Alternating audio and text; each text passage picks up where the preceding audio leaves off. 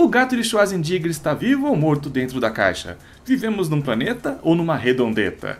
Agora os poligonotas têm uma loja na Chico Rei com camisetas e acessórios inspirados em temas científicos. Para comprar é só acessar o link que está na descrição. Isca loba loba! Olá pessoas, eu sou o Schwarza e bem-vindos a mais um Lenda ou Fato. E se você está conhecendo esse canal por este vídeo, lhe peço que se inscreva nele clicando nesse botão. Se você gosta de ciência e de astronomia, garanto que irá gostar deste canal. Essa semana me deparei com uma matéria curiosa postada no site gringo Disclose TV.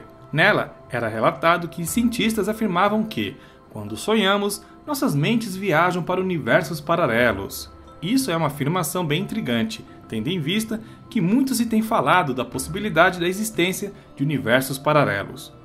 Por conta de alguns sonhos serem bem reais, algumas correntes do misticismo já levantavam essa ideia de que os sonhos levam para outras vidas, dimensões e nos ligavam com os mortos e assim por diante mas até então a ciência tinha uma visão bem cautelosa sobre isso. Na matéria do Discurso TV é citado um exemplo de universo paralelo, onde temos dois mundos, um em que você nasceu e o outro onde você não está. Logicamente, você nunca poderá estar em um estado tão dual dentro de uma dimensão, e portanto, a necessidade de múltiplas dimensões paralelas surge.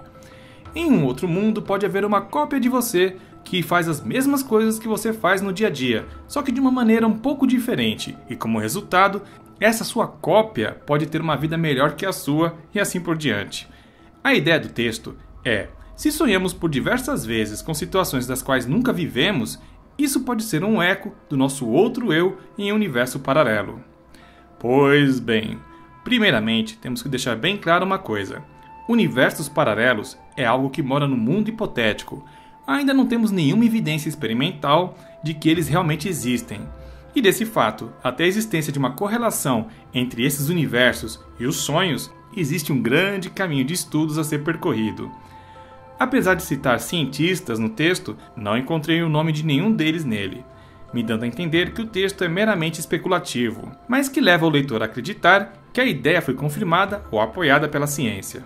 Apesar de ser um campo que ainda apresenta muitas questões, a ciência consegue explicar algumas características dos sonhos. Segundo Mário Haudscher Galba, do Instituto de Psicologia da USP, o sonho é uma função autorreguladora de equilíbrio psicológico.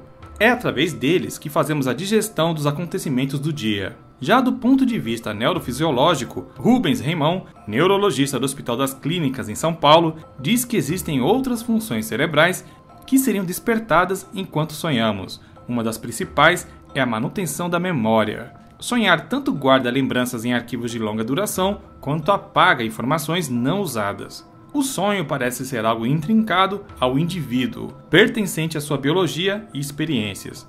Sugerir que ele seja um elo entre esta dimensão e outra é um exercício especulativo. E este era o vídeo que eu queria trazer para vocês hoje. Espero que tenham gostado. E se vocês querem falar comigo, mandar sugestões de pauta, aqui embaixo na descrição estará todas as minhas redes sociais. É só seguir lá e falar comigo. E eu vou ficando por aqui. Nos vemos amanhã. Um grande abraço e hasta!